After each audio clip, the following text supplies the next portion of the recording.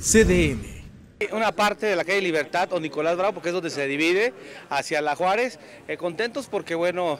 la gente a platicar con ellos, los vecinos, los que tienen este, estos comercios aquí, primero contentos porque dicen que valió la pena la espera del proceso constructivo que se tuvo, pero decirte que además nos dicen que tenían más de 70 años que no se le hacía nada a la calle Cupatixio y me da gusto porque bueno, eh, la gente lo reconoce, dice que bueno, valió la pena la espera, valió la pena las dificultades que se presentaron, pero decirte que contentos porque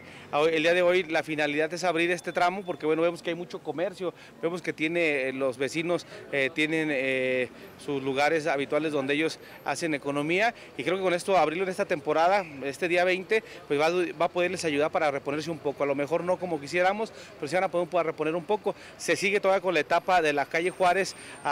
hacia la Sagrada Familia. Y decirte que en esto pues va avanzando, se va, te está trabajando fuertemente, pero decirte que bueno, más vas a bajar la guardia, tenemos que seguir trabajando en este tema tan importante porque para nosotros es fundamental seguir trayendo este tipo de obras, este tipo de beneficios para todas y para todos los europenses. Falta una parte todavía, pues está construyendo un colector, porque recordar que en esas zonas se inundaban, eh, tenían unas dificultades siempre en temporada de lluvias, se está construyendo el colector, se está renovando la red de agua potable, la red de drenaje, se están eh, poniendo banquetas nuevas, concreto hidráulico en el arroyo vehicular, y creo que es una obra de primer nivel. La gente está contenta y pues a mí me da gusto que bueno, el trabajo y el esfuerzo que venimos haciendo nosotros día con día, pues la gente lo, lo siente, la gente lo, vive y para nosotros eso es la satisfacción, que la gente vea que este gobierno es un gobierno diferente, un gobierno de resultados, de palabras. Están proyectándole para cerca de 45 días, espero que sea un poco antes, vamos a estar revisando porque lo que queremos es que ya la puedan abrir al 100% y la gente lo pueda disfrutar al 100, al 100 y que los vecinos ya no tengan estas complicaciones. CDN